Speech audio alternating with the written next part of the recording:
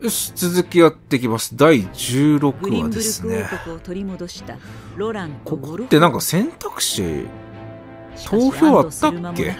彼らの前に新たな問題がそれないのなら飛ばしてもいい輪なのかな ?16 話って。ウォルフォート家先代当主シモンの死と、うん。セレノアの出れ。生に待つ王この党派たやを処罰しつだから。理想と現実のそしてフレデリカの母、オルレどれも簡単には答え飛ばしていいい輪かもしれない。で、あ、SF フロスのやつね。エスフロストの残党うん。で、戻ってくる。まずは新鉱山のエスフロスト軍を駆逐 ちょっとルートのあのあれを見て、第16話、眠れからしとるもん。うん。ここ飛ばしてもいいかもしれない、もしかしたら。うん。あ、早速。ここももういいかな。行っちゃいましょう。で、マップに変えてきて、すぐ RPG パートかなそう。鳥、あ、サブかな違う。これもメインだ。え、ここ？すぐ行かないんだ。まあ、飛ばしてもいい恐れがある。ああ、ここ、いい、いいな。分岐しないので、飛んでもいいっすね。うん。で、まあ、16、そう、ここの RPG パートでどうしてもちょっと手に取りこぼしたアイテムが、そう、多分ここの RPG パートで動けるとこ、え？ー違うか？どこだ？いや、ここかトロッコのとこだよね。うん。そこでなんか重要なアイテム取りこぼしてるので、それ取って、うん、もう17話の冒頭というか、投票のとこまで行っていいんじゃない？これは。ね。ここも最後の選択肢だよね。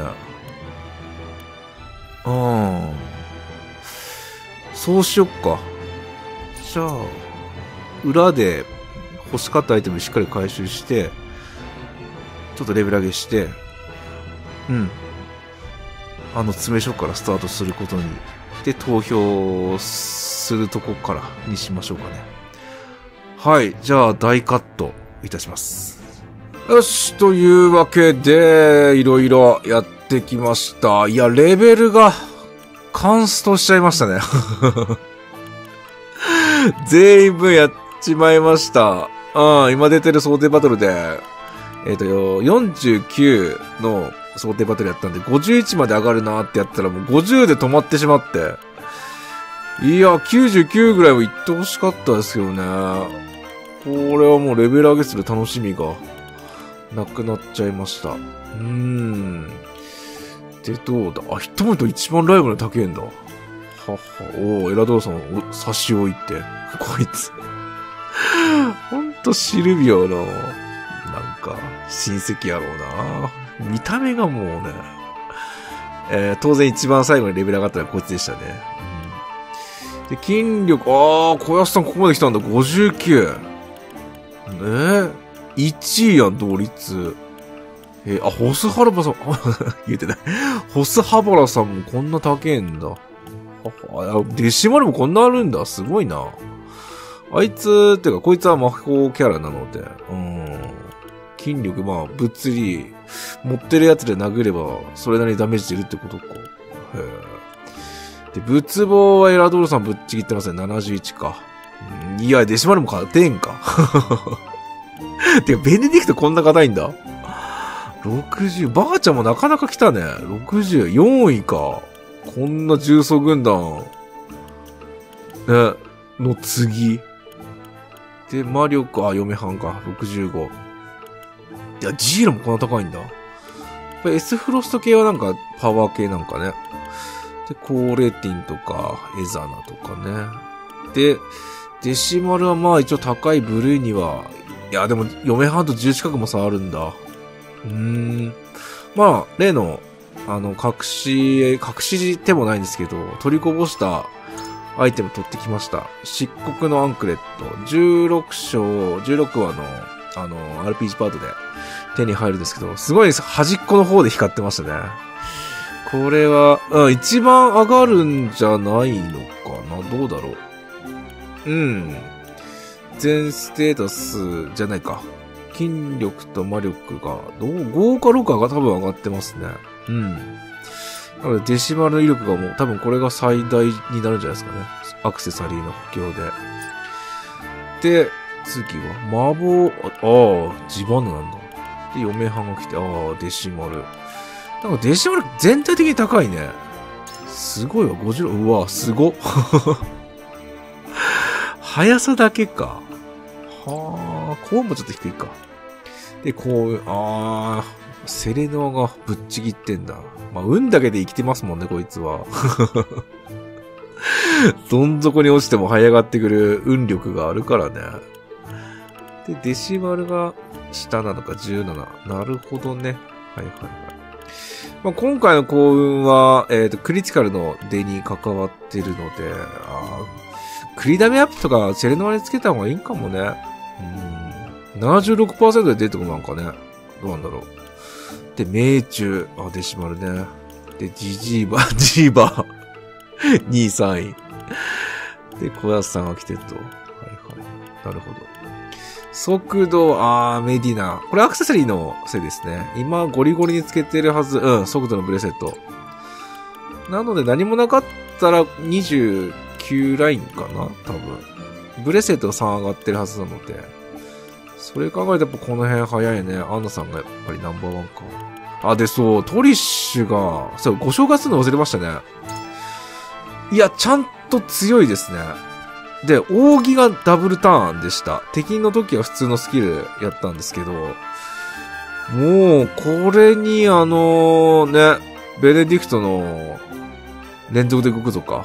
あれも組み合わせたら3回動けるので、なかなかの、うん、そして速さもあるし、そこそこ。これはまた面白いキャラ来ましたね。うん。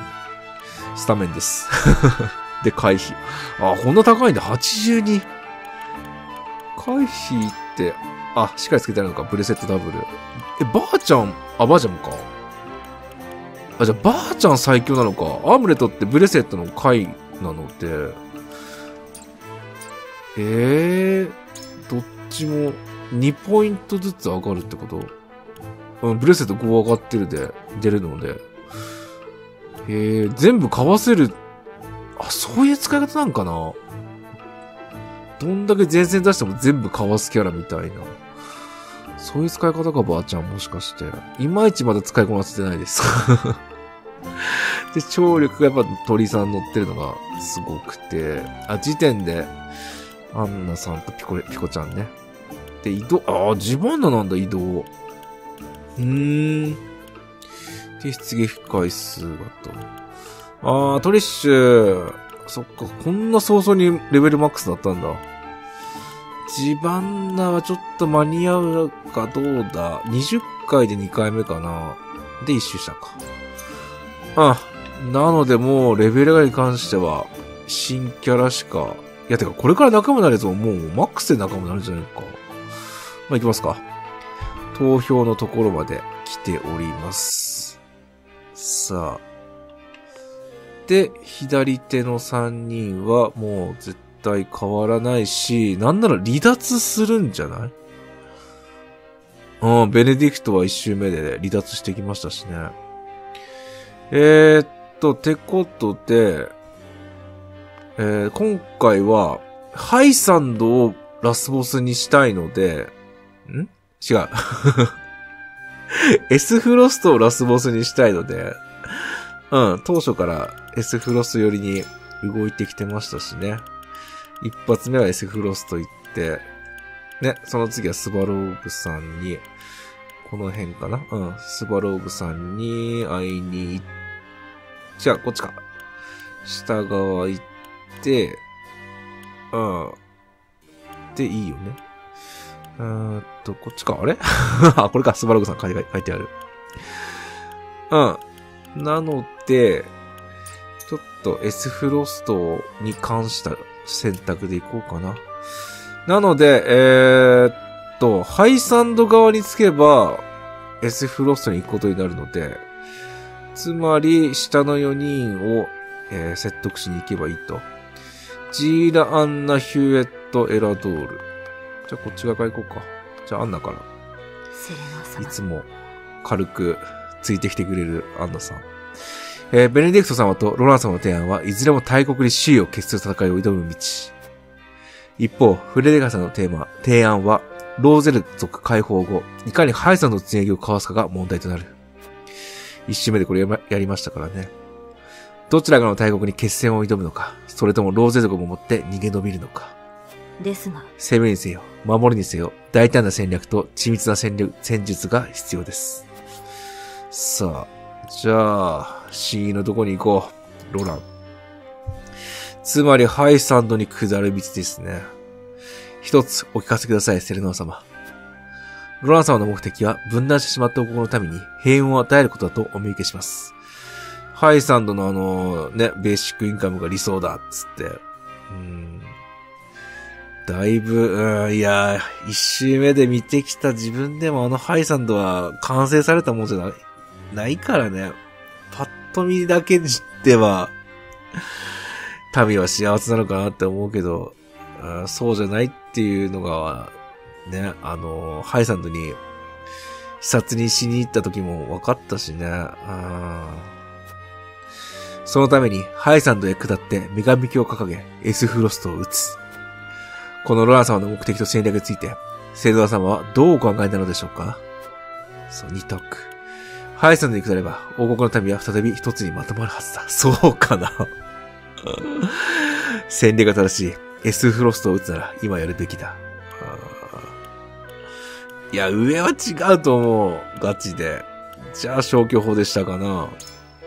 その場合その通りでしょうね。岩塩を抑えた今こそが後期。下手に時間をかければ、S フロストに大金法のを実践等にする猶予を与えてしまうでしょう。しかし、セレナ様、S フロスト討伐こそがローラン様の本当の目的なのでありませんか？これはそうやもんね。ずっともう感情的になりぐ、ことやったしね。まあ、親兄弟やられとるからね、S フロストに。視力で動いてないかっていう話か。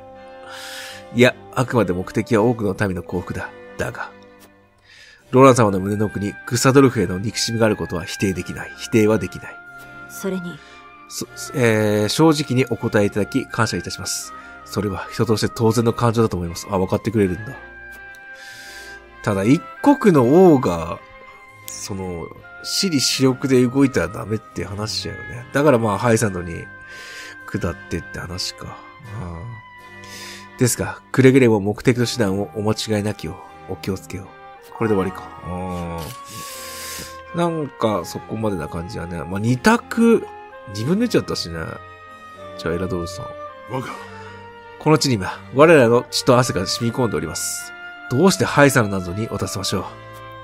また、フレデリカ様のお気持ちはわかりますが、ローゼ族のために全てを失う権は犯せない。私は、賛同できるのはベネディクトの策なのですが、どうにも妙な胸騒ぎが収まらないのです。S フロストに作った話だったよね、そういえば。で、葉を唱えるって感じだっけ ?S フロス、え、ハイサンドを潰した後は S フロスト潰してって感じ？ベネディクトのあれは。もうウォルフォート家第一やもんね。だがしかし、一番、エラドーさんこれはなさそうやったよね。開幕の言葉は。ロランの決意を、じゃあ、指示しましょう。ロランさんは提案に賛成ですと。何を考えておられるんですか？我が。あ二択もと。ハイさんと決めば S フロスを倒せる。グスタドルフの野望は打ち砕かねばならない。うんロラン様は苦悩の末にな、なされた選択だ。私は友としてあの方を支えたい。友であり、進化でもあるからね。ね。王がその意志なら、追敵のみって話か。うーん。本気なのか？本気なのですかって言われた。友のために自分の民の領地も献上すると。ああ、一応そういうことになるのか。あなたは本当に優しいお方だ。幼い頃からずっと。しかし若しかしそれは当主としてはありざる、あり得ざる判断。素直に従うわけには参りません。後半あるか、これ。エラドール。若、もうあなたは、ローラン様の親友である前に、ボールホート家当主なのです。どうか、ご自分の立場をよく考えて、ご再考を。あー、これはあかん。絶対あかんやつだ。ちゃんとやればよかったな。あー、エラドールさんも無理だな。で、ヒューエット。しかしようやく王道を奪還し、これからという時に、国も王位も献上してしまうなんて。進化で私は、ローラン様のお考えに従うべきなのでしょう。私はでも、この選択はあまりにも重大で、正直、迷いがつきません。王というか王族であるロランが好きだった。まあ、ちょっとこれは現金すぎるけど、うーん、しそう、下についてるものとして、なんか尊敬しとる感じがあったよね。うんそれがなくなるってわけやから。一般人になるってことやよね。うん。セレナ殿は、ロラン様や他のお二方のご意見をどのように感じておられますか？さあ、いや、そのまま、お前、自分の、君主を信じろ。うん。セレナ殿は、ロラン様の意見に賛同されるですね。本当にグリーンブックを献上してよいのでしょうか？全部二択だ。元々の国力に加え、女神の盾とエレフリックの存在。ハイさんを敵に回すのは分の悪い選択だ。うんローラン様は王位を退いてまで民を守ろうとしている。その決意を組むべきだ。こっちかなそんなそんな、あれ？もちろん私もずっとおお使いしてきた。ローラン様の決意をお支えしたいと思っています。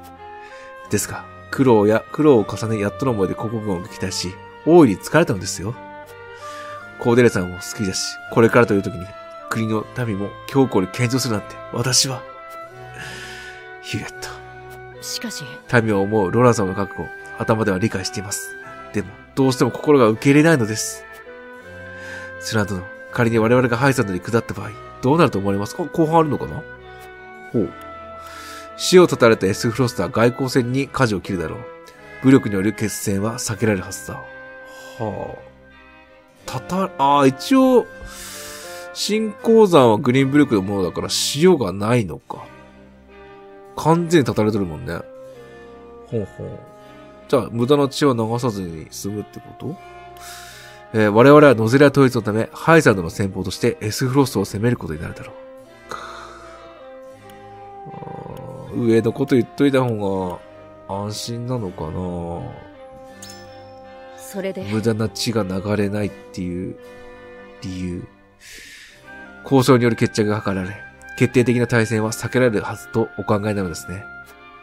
しかし、弱肉強食を良しとするグスタドルフが追い詰められたかといって、下手に出るでしょうか。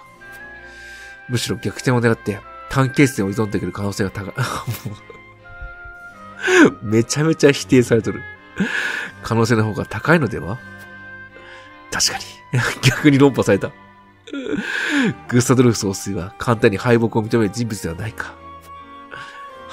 はい。死を絶ってもエスフロストにはまだ大金法というテスト、大金法とテストという切り札がある。それにかの国を追い詰めれば、なりふり構わない反撃を招き、かえって戦火が広がる恐れもあると思います。あらー、これ。いけるか？え、他の方に散ったら、まずいよね。アンナは来てくれると思うけど、このジーラの説得ミスると終わる可能性がある。セレノワ様そう、真剣にやろう。三人の提案はどれも大きなものを得る代わりに何かを失う道ですね。もちろん三人ともそれを承知の上で覚悟を決めて提案したのでしょう。それに？とても難しい選択ですが、私たちも強い信念を持って選ばねばなりませんね。さあ、うまくいくかな、ロラン。頼む。ロラン様の意見に賛同されるんですか？取り戻したばかりの王国を自ら手放すと。まあ、みんなこの意見一番ないって思ってそうやね、本当に。民のために王国を捨て去るという選択は、並々ならぬ決意によるものでしょう。でも、ローラ様の心の奥には、エスフロスへの憎しみがあるのにも見えます。まあ、個人的なね、思いで全体を動かすのはどうだっていうことやよね、これは。セルダ様、どのような理由でローラ様の意見に賛成されたのですか？さあ、女神の下では皆が平等、弱肉強食のエスフロストより多くの民が安定を得られるからだ。えー、大金法なる兵器の本当の威力、本当威力は不明だ。不確定なものを頼って決戦を挑むのは危険すぎる。うーん、上のことはジーラ一番よく知ってんじゃない？内部的なことは。じゃあ消去法でしたかな。何も言わん。セラさんもその手に気づかれたのです。気づかれたのですね。私も全く同じことを危惧していました。あ、これはこれでありそう。その場合大金法。あのグスタドフ総帥が切り札にしている以上、偽りではないでしょう。でも、どの程度完成しているのか、実践でどう使うものなのかはわかりません。それにそれに、同じ新兵器という意味では、ハイゾンのにも魔力結晶エレフリックがあります。うむ、大金法同様、兵器としては未完成だ。しかし、エレフリックの威力は無視できないな。これはもう、一応実戦投入済みではあるからね。ただ、あーまだ、数回しか使われてないものだから、どうなるかわからんよね、今後は。はい。魔法に関わるものとして、あのエレフリックには、まだ何か秘密があるようにも思います。まだローゼルの命が使われてるってことは知らないか。あ、この後やもんね。一周目でもライラさんが言ってたやつだ。あーそれを知らんと終わっていく感じになりそうやね。これは。いずれにせよ、新兵器という観点からは、ハイさんとと敵対することは得策ではないようですね。ハイさんに下った後は、どうされるおつもりなんですか？後半か。えー、エスフロストを滅ぼし、女神教によってノゼリアを統一する。なかなか波動に行ったね。内部からハイサンドを変えていくために動くつもりだ。こっちのは綺麗なんじゃない？七星人やしね、仮にも。七星人という立場を生かして、ハイサンドを変えていこうとお考えなのですか？いけるかな？そうだ。うまくやればローゼ族の扱いを変えることもできるはずだ。まあ、岩塩出てきたのもあるから、これ時間の問題なんじゃない？ローゼ族の解放は。そうでしょうかお？恐れながら、甘すぎるお考えかと、あれ？七星人が一人で抵抗したところで排除されるだけでしょ。あー7分の1じゃな。ハイさんのがより力を持つ選択をしておきながら、女神教に逆らおうとすることは矛盾しています。言われた。その通りだな。女神のもとで民を救おうというロナン様の望みも裏切ることになってしまう。しまった。しかしセラ様、フレデリカを気遣ってくださることは感謝します。ですが、すべてを満たすことは不可能でしょう。いずれかの道を選ぶしかありませんね。あれ？これまずくないか？ロランルート、む選択するのだけでも難しいな。いけんかも。いけない可能性が高い。では投票をまさかの投票やり直しか？ロラン様フレデリカはあ。ベネディクト誰の意見をやった可能性が高い。それぞれの信念を天秤に預けてくれああ、初めて自分の思った道行けんだかも。マジか。いや、エラドールさんとか絶対来んしね。アンナはギリギリ来てくれるとして。悪くはありああ、ませんが申し訳ありません、セロ様。私はこちらへは、一票どっか行った。アンナは来てくれるか。セレノア様のご意見ああ、ありがとう、いつも本当に。私はセラ様のお考えに従います。すまん。ヒューエットもキビーか？あなたを信じましょう決めました。この選択がロナン様の、ロナン様と皆様のためになると信じます。ギリギリいったか？エラドさん無理やろ。お許しください。申し訳ありません。若。私はこちらの道が正しいと信じます。ギリギリいったな。あ信念の天秤よ我ーらの選んだ道を示せここ難かったな。ロランの意見が一番ないもんな。うん、一周目でもそう言った気がする。え？どうす？あこうなんのか。フレデリカ、かわいそう。票はどうするあ、でも、今回は当主であるは私が決断をあ、下す結局そうなん。え、上です。こんなんなんだ。同数の場合。道は定められた決選投票とかじゃないんやね。我らはロラン様の決意を支持しハイサンドに下ってうわーロゼリアの統一を目指すこれもうベネディクトとかついてこないんかな？フレデリカも、どうだ？ベネディクトはついてきてくれるかな？フレデリカが、ああ、終わっちまった。フレデリカ来なさそうだなさあ、再び初見のとこに入っていきます。17話。中編？後編かな？さあ。あ、ここに、ここに来んの？みんなの感想が聞きたかったんやけど。将来を誓い合った言い名付けフレデリカ、うん。そして最も信頼を置くいやでも一周目はだいぶ荒れたからね。彼ら三人の意見は大きくベネディクトとなんか切り合っとったしね、一周目を。だが天秤の傾きにウォルホート家は従う習わし。誰も離反、はただ一つ。離反というか、離れていかないのかな？どうなんだろう。ノゼリアの歴史を変える秘密はその手の中に。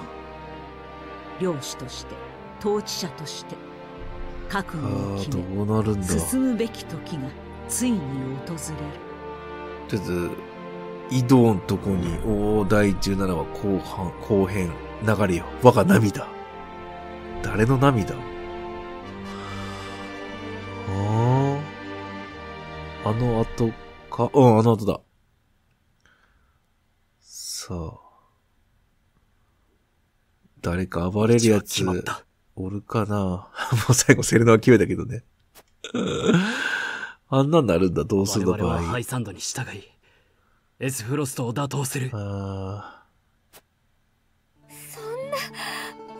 待ってくださいーローゼルのことは一応七星人だからなんかできそうな気するけどね。岩塩とかも見つかってるわけやし。それはハイサンドの支配を認め全てを差し出す道ですあー今回やっぱりフレデリカが暴れるか。承知の上だ。あ頼む。こらえてくれ。ーいけるか？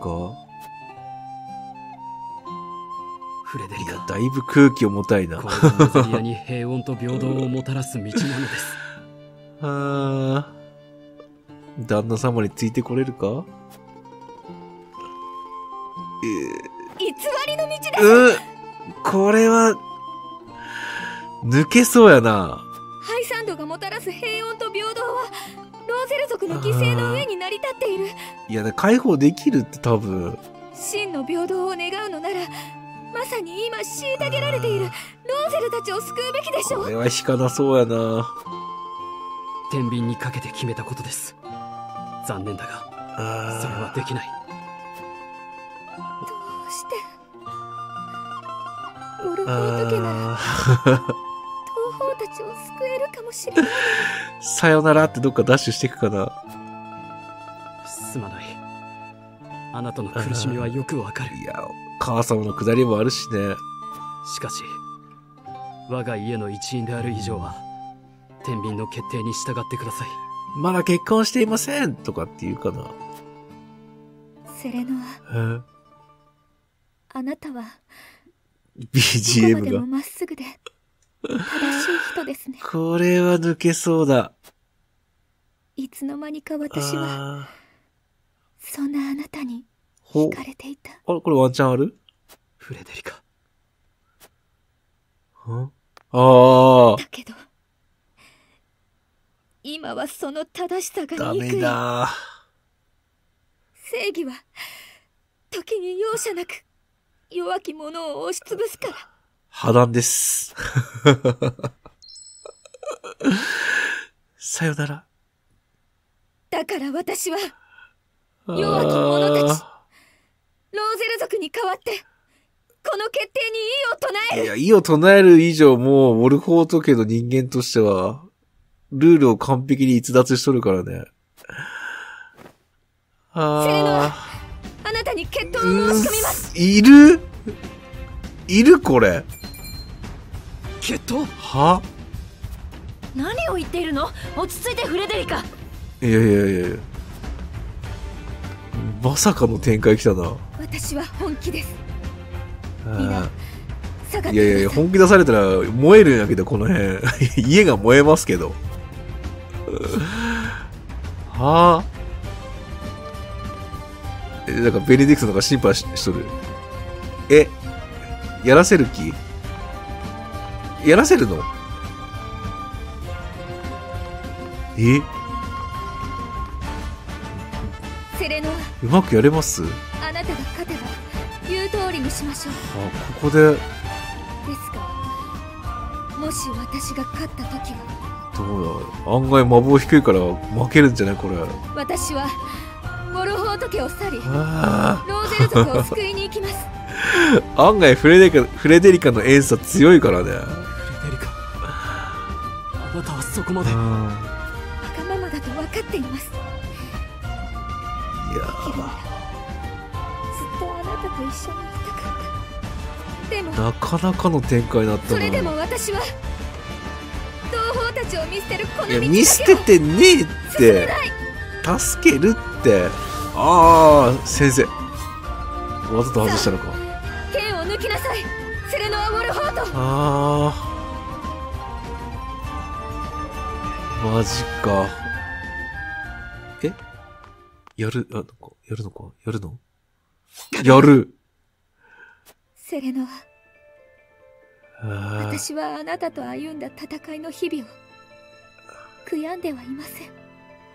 聞いたことない BGM ウォルホート家の一人として一緒に歩めたことを誇りに思っています。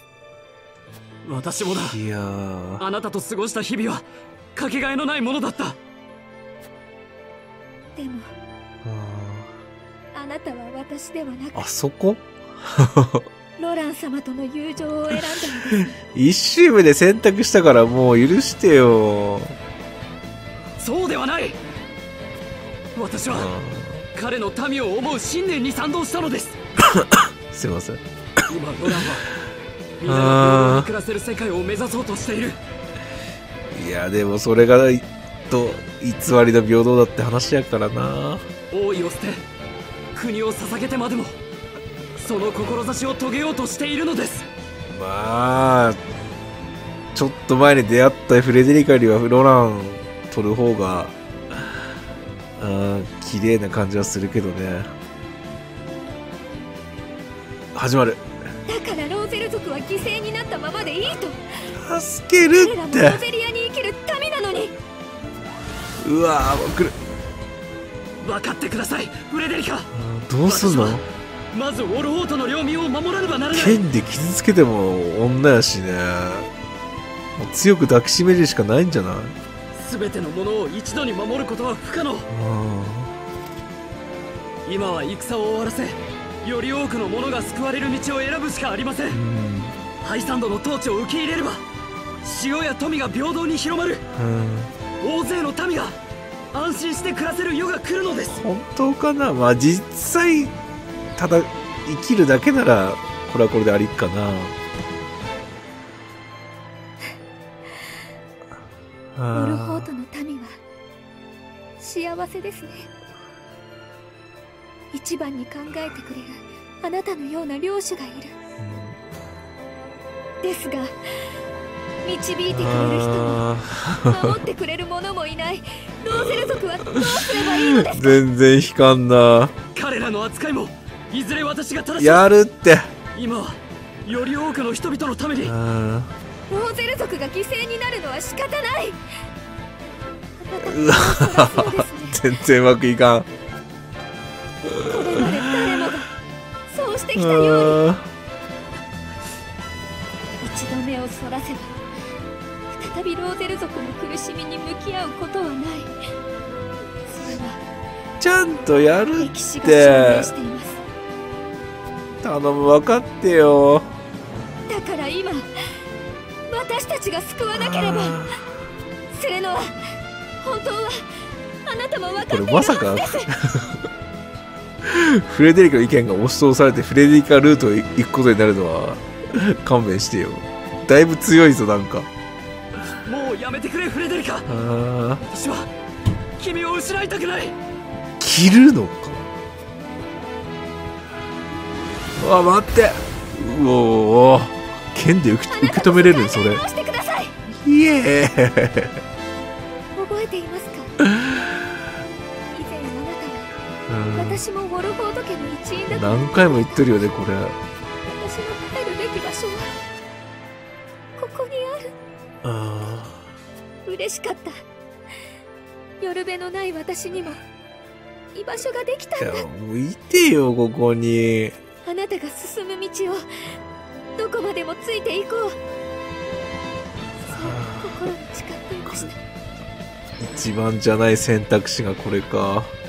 でも儚い夢もうああなたと同じ未来を見ることができない。あ、破談だ。いやー。うわ。円立てか、これ。決着をつけましょう決まってしまう。魔法に私の思いを全て込めますあーちょっと高齢点呼んできてくれんかな。まずいぞ、これは。わかりましたならばあー全力を持って受け止めましょうガードに徹するのか。この世界線でもセレナは死ぬ？あれだ。うわどっからどうなったのこれ？吹き抜けじゃないよね。あ 耐えれるんか？なんでな？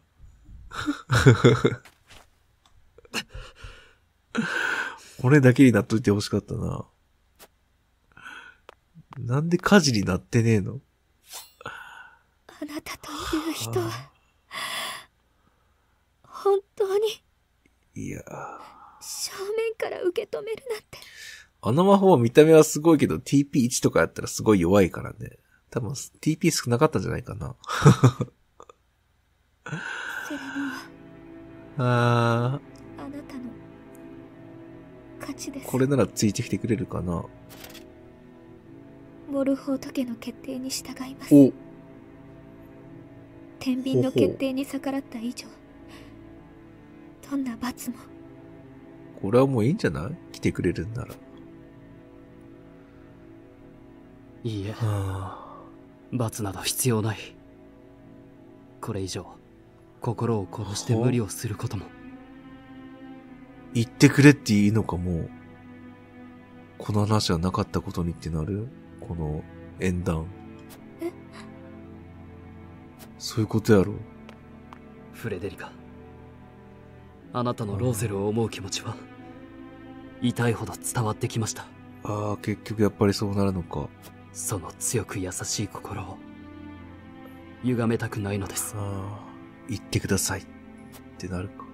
私はそんなあなたに惹かれていたのだからあセレナあなたはあなたのままでいてほしいあ、うん。己の心を曲げることなくこれは離れ離れだずっとまっな。すぐなままでああ。じゃあ、どのルート選んでも誰かが抜けるんだ。だからあ言ってくあ。こうして私が背を向けているうちにフレデリカ・ロストか。ありがとうあなたと過ごした日々。そして今の言葉は生涯忘れません。ただ一人でなんとかできるんかな。オルレアの意志を告げばさようなら。私の愛する人。やれるもんなんかな。ジーラは残るのか？はあ、あ、誰か追ってきた。あ、ジーラ。フレデリカ待って。私も一緒に行きます。二人抜けんの？仮にいいもえ、ジーラ。あなたは残って。ああ、そう言うんだ。仮にも次女やからね、フレデリカは。フレあ、じゃあ、ジーラはフレデリカの。ウォルホート家はこれから厳しい戦いに挑みます。どうかセレノアたちを助けてあげてください。はそれがあなたの願いなのねぁ、うん。最後まで勝手を言ってごめんなさいじゃあ、なんだ、もう一つの、S フロストにつく道を選べば、あ、ロランが、当然反対側の意見か、ロランが。ロランが離れていくってことか。なるほどね。私は自分の使命をやれるか？セントラリアいけるんかな？ローゼル族を救うために戦うつもりなのね、うんでもたった一人でどうやって？いや、どうするつもりなんだろう。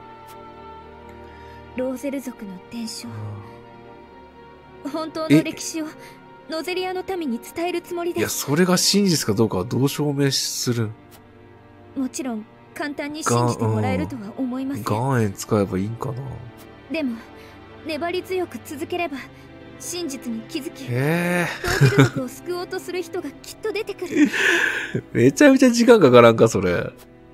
その数が増えれば女神教の教えも揺らぎローゼル族解放の道が開けるでしょういや、岩塩をもっと教えた方がよくないか？普通に。確かに可能性はあるでもは辛く危険な道よあやれるんかな？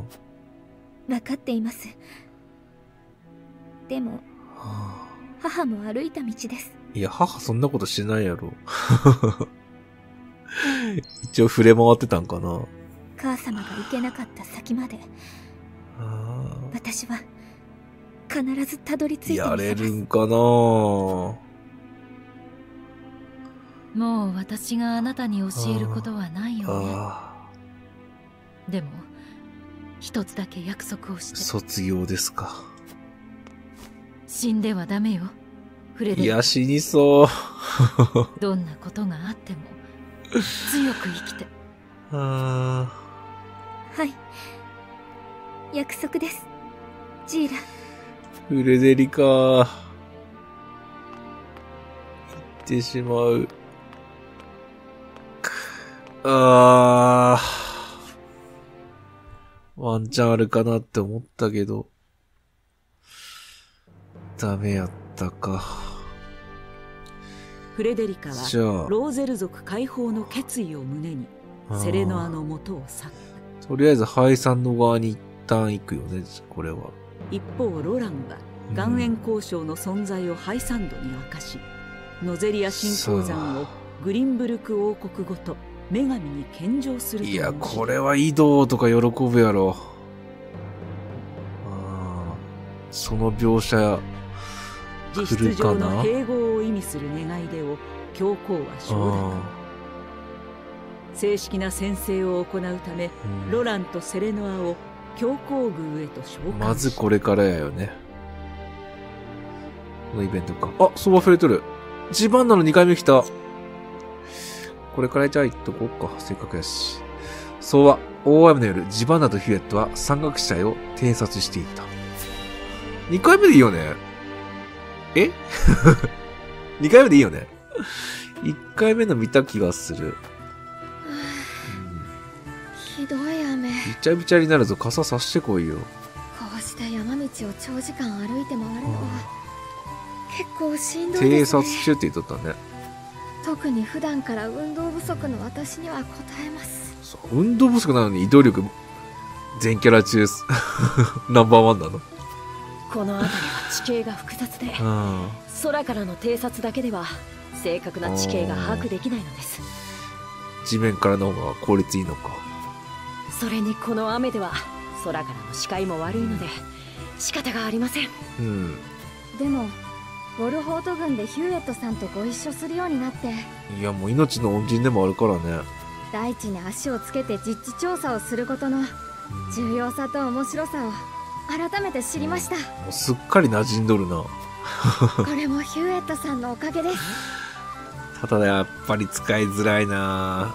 扇は強いなって思っ思うんですけど、10時方向に10マス、10マス言い過ぎかなかなり広範囲にグランドクロスができるんですけど、それ以外やっぱり使いづらいわななら軍に置いてくむださずいのよ、地盤な。様のためにも早くここの調査を進めましょうむずい、むずいから強いとかってそんなわけでもないしね。地盤だ、どうしよう。雨で足元が取られて予定よりも時間がかかってしまっています何が起きるんだ、このイベントは。お、なんかやばそうやな。はヒューエットさんあ、待ってください熱とか出てそう。雲の動きを見てもは雨が止む気配はないですしこの先は斜面が多く地滑りが起こりやすいあ、地形です一旦休憩しようぜって話か。だから今日は思い切ってこの辺りで野営すべきではないでしょうかそんな帰れないぐらいのとこまで来てんだ。そんなことを言って休憩したいだけなのでは？これ実際起きそうやな、地滑り。ち違いますよここの土地は地下水を含んでいてとても崩れやすいんですこれはガチっぽいぞ。ヒューエットさん休もうぜって。これまで大地の研究をしてきた。私のことを信じてください。さあ、うんわかりました。これあなたが休憩中に。今日はここで雨をしのぎましょう。うん。はい。こんな、野宿千段ほどの偵察してるんだ。で、実際地滑り起きたってことなのかな？お、晴れたっぽいね。ただ地滑りは起きたのかな？いい天気。お、さあ張り切って調査を続けましょう。うん。おっと、行商に、おやあんたたち。えーこの先は土砂崩れで進めないよ。そういう話か。とてもひどいありさまだった。犠牲者も出たらしい私も引き返してきたんだこれは、最悪の事態から、ああ、逃れれたね。うん。そんな昨日あのまま進んでいたら私たちは死んでいたかもしれないフレデリカの他に二人 消えるとこでしたね。ありがとうジバンナうん命を救われましたこれもあなたがしてきた研究のおかげですねこういうところに着地するのか。石を調べる研究も無駄じゃなかったみたいです。うん。あんた石に詳しいのか？このなんか、繋がっていくか？だったらちょうどいい。実は土砂崩れの現場で変わった石を見つけたんだ。さらに後半へ続きそう。なんだ？変わった石。これはジバンナが倒れていた時に拾ったのと同じ石。何だったっけそれ？地層の石だったっけ？なんか。昔の石。か。生息しない。巻貝の化石化石？でもここは山の中ですよ。あー、ここはかつて海の底、海の隆起したっていう、あそこに繋がるのか。はい。でも私はこう考えています。あノゼリアはかつて巨大な円ー弧だったのではないかと。るでノゼリアが巨大な円弧？うん。以前申し上げた早く気づいてたんだ、ジバンナは。山も川も森も大地は何百年何千年もかかって生き物のように変化してきたなんるですほど。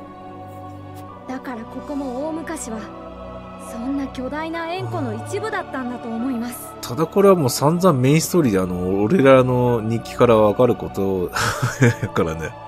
うんあえてこの相場じゃないとわからんとかって話じゃないしね。それも大書院の記録を調べればあわかることなのでしょうか？あ。まあ実際大書院の記録みたいなもんやしね。母ちゃんの日記は。かもしれませんがああ。私は本ではなく自分の目で確かいやめたいでもガチで研究しとる成果が出とるね。あなたと仕事をして大地のことを知るには大地に触れなきゃいけないって分かったんですノゼリア中。うんうん。いやノゼリアの果ての果てまで調べて。きっと秘密を解き明かします。んでもない研究者になるぞ。ノゼリアの果ての果て。か。うん。なんとも大きな夢ですね。いや、セントラリアとか行った方がいいんじゃない？こいつは。うん。その時はフリューゲで連れて行ってもらえますか？本当は飛んだ方が早いんじゃねえか。命の恩人の頼みなら仕方がありませんああ、これであれか？戦いが終わったらお必ず互いに命の恩人になったってことか。ありがとううん。私ヒューエットさんに出会えて本当に良かったですこれは出会うべきして出会った二人やね。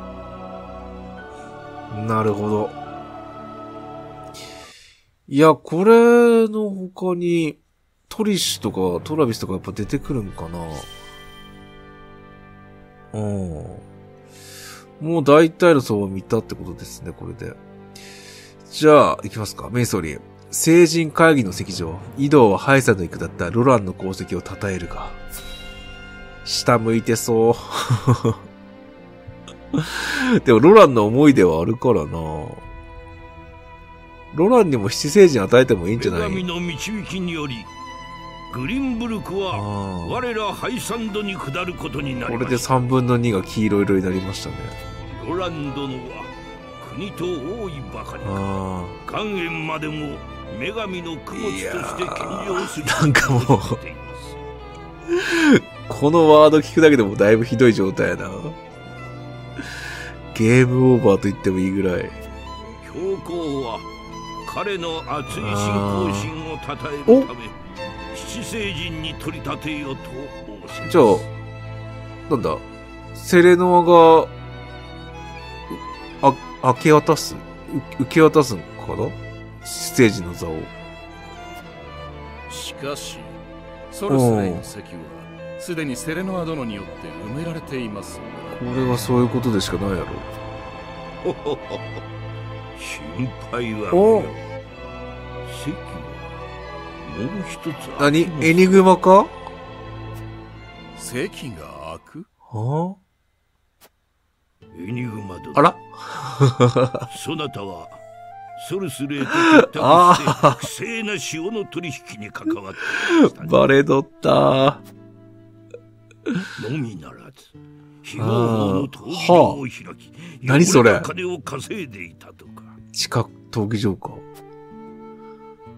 な何を言われるあ証あ。拠があるのですか？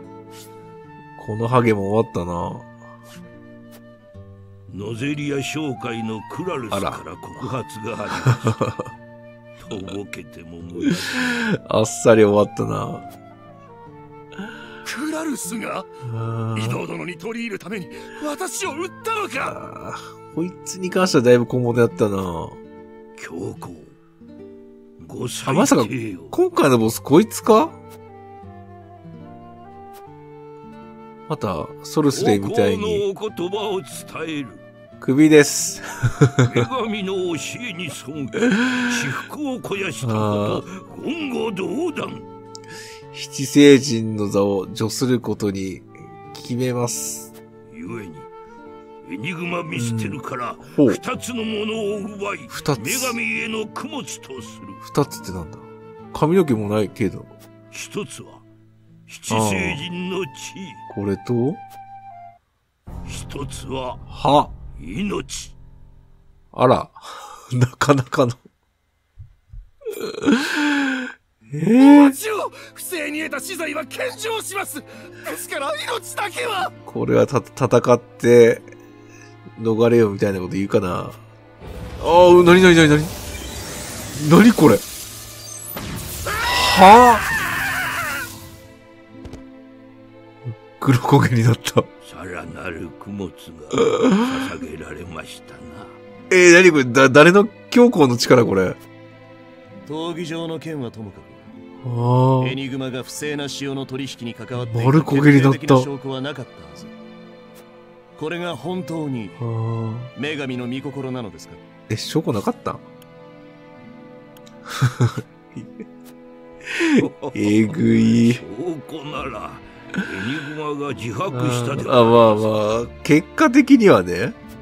女神は誰に対しても平等あ信じる者には無限の覚悟をもたらし教えに背く者には厳しい罰を七星人といえばこのざまやしな。てか、井戸の意に、そう、まあ悪いことしてなければいい大丈夫なんやろうけど。ああ、これは七星人で大変やね。たとえ七星人であろうと例外はありません貴公らも改めて肝に銘じるよう怖えこいつ怖え ただ、うまいことこれ、内輪で結託すれば、ね、ローゼ力解放いけるんじゃない？さっきまでは7分の1やから厳しいとかって言いましたけど、ロランが出演時になるならもう7分の2はいって、あと、ライラ、エグスターもカンセルさえ仲間にすればもう、ああ、セルノアの前に立っとるよろしい。な七星人になれるのかなこれで。はい。なんか変わったかなうわめっちゃ短くなっとる。え、ねえ 全然違うけど、この肩書き。グリーンブルク国国王、ロラン・グリーンブルク、エスフロス国王から王都を取り戻した我がき王。じゃないからもう。またもう一段階変わるかな、これ。グリンブルク汝は潮の女神の教えを信じその命を女神に捧げるいや王が、誓います。誓った。我が命だけでなくグリンブルク王国の王位と領地そして地底に眠る岩塩も献上いめちたしますゃくちゃなことしとるなどうか全てのノゼリアの民に女神の加護と平穏をお与えくだされますよ全てのノゼリアこのまま終わってもいいぐらいのことが起きとる。それはエスフロストを撃てという遠回しにそういうことなんかな。いかにも私とウォルフォート公があその勝手なこと言うな、バカタレ。強行ああ、このもう、提案いかがいたしましょう？そんなん、こんなんすぐ了承するでしょ。もともと自分のところになかった戦力とかそういうもんなんやから。それが失敗したとて、何も変化ないからね、ハイさんのには。ロラン・グリンブルクを新たな聖人として認めその提案を支持するこれは肩書き変わったかな。エスフロストを撃ちノゼリアの大地を女神の加護で満たせなんか違うな全然なんかテンション上がらん。そそられんなこのルート。グスタドルフがラスボスになるんでしょうけど。火球の知らせですロラン王が自ら廃位し強行宮にて七星人に任じられましたってことはもう、いやね。ハイさんとか、超大国になったってことやね、もう。グリンブルク王国は完全にハイサンドの傘下となった模様現在両国の軍が連携して我が公国へ進軍する準備を進めているとのことです攻めてもいいし、もう塩の、ね、兵糧攻めしてもいいし、もう、勝ち目なさすぎるやろ、これ。ローランめ岩塩どころか王国まで敗さんでいるこれは読めんかったか。と自分の器を見切ったあーまあ、ウォルフォートにたぶらかされた 上ですね。いずれにせよ己が自由を他者に差し出す愚か者だ恐れ入ったひどいね、ほんと。貴様に相当の門の指揮を命じる。教皇の操り人形どもを返り討ちにしろ。門行って、町行って、この城の中で最後かな。はっ。我らがてかこいつ生きとった？自由を守るため必ずやあそ、あのダムの方で死んだかと思ったら、しぶてー。新鉱山から運び込んだ岩塩を作るのに勝負をつけねあそっか。決戦はそうだったわ。先に、うん。一周目でも描写ありましたけど、ガンガンもう岩塩は、ここに運び込まれとったって話だからね。潮の女神それとも我がエスフロストが消えさあ、方向は定まりましたね。グスタドルフかたラスボロゼリス。アの覇者を決めようではないかいや、だいぶ劣勢やぞ。大金方がどんだけ強いんか知らんけど。あれ？これって戦闘パートなしで終わったね。17は後半やったよね。そっか。一周目でもこんなんでしたっけ？じゃあ、18、19、20で終わりだろだろうから、うん、さっき言った流れかな。門行って町行って城の中で最後。と読んでおきます。いや、そそらんルートやけど。まあ一応これ当初から、なんだろう、グスタドルフがラスボスなんやなってなんとなく体験版とかやってても思ったんですけど、一応そういう 流れにはなりましたね。うん、さあ、どうなっていくのか。あとフレデリカも一人でやれるんかなただあれ時間、ね、直接解放しに行くそうじゃなくて、なんか周りからなんか、布教してからみたいな感じだったし、もうそれも気になりますね。はい。